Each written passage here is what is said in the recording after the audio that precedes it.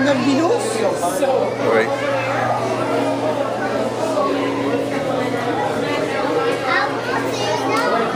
She's just moving a little